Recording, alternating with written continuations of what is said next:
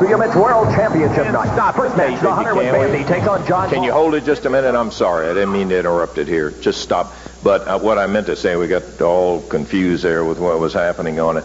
I, I, I got to tell you that coming up, you're going to see. Can we recue that, please? And uh, you're going to see the entire Memphis card. But I wanted so you wouldn't miss any of this.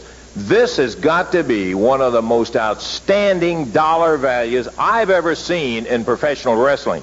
When you see the entire card that's going to be coming off, you can't believe it.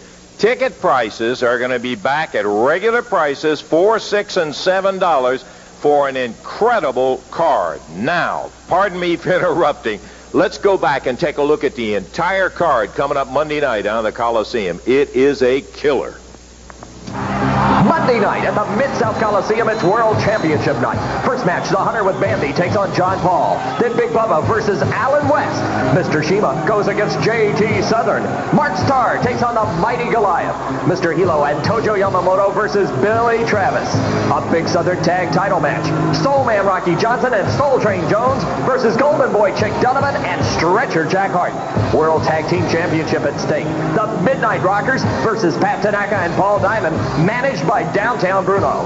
The big main event, a World's Heavyweight Championship match as Nick Bockwinkel defends the gold belt against Jeff Jarrett.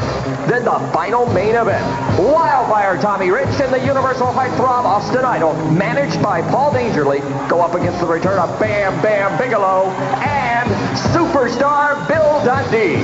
Don't miss the action Monday night at the Mid-South Coliseum. Boy, did I steer you right. I got to tell you, it is going to be a...